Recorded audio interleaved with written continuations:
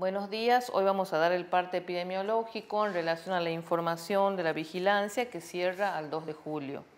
Eh, tenemos a la fecha actual solamente los casos que habían sido confirmados eh, anteriormente que ya están dados de alta, que son 51 casos. Eh, hasta el momento, en, durante 31 días, no hemos tenido casos nuevos en la provincia Sí, todos los días se están eh, activando alarmas en distintos puntos, de, en distintas localidades, o sea, se estudian casos sospechosos y también se hacen los estudios de vigilancias y en este momento los test serológicos también para ver cómo está la inmunidad en la población.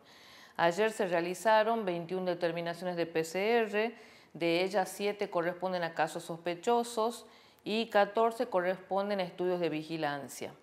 También eh, les comento que siguen en seguimiento personas que son las que ven ingresado en la provincia, que se encuentran en cuarentena y en seguimiento por el equipo de profesionales eh, de cada localidad. Son a la fecha 1.243 en toda la provincia.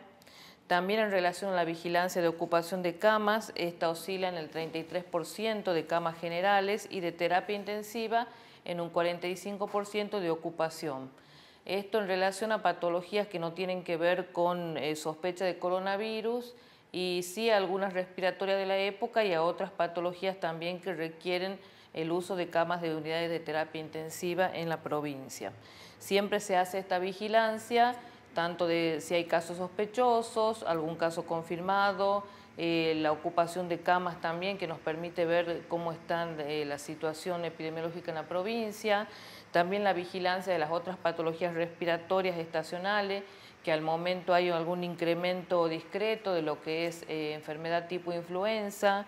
y también digamos de otras digamos como neumonía que no llegan digamos a aumentar en relación a lo, a lo que estaba en el mismo periodo del año anterior, pero que sí nos llaman la atención y, requieren vigilancia y cuidado para las adecuadas medidas de control y de tratamiento y el estudio también de todos estos casos. Siempre recordarles todas las medidas eh, que son muy importantes, higiene respiratoria, el que tiene tos, consulte o el que tiene algún síntoma leve, por más insignificante que le parezca, que consulte al 107 para ver si se requiere algún estudio diagnóstico para coronavirus o para otra de las patologías respiratorias. Eh, y bueno, eh, este es esto es lo que les quería eh, contar el día de hoy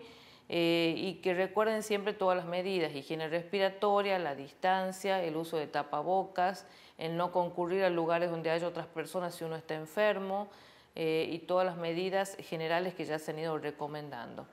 Muchas gracias.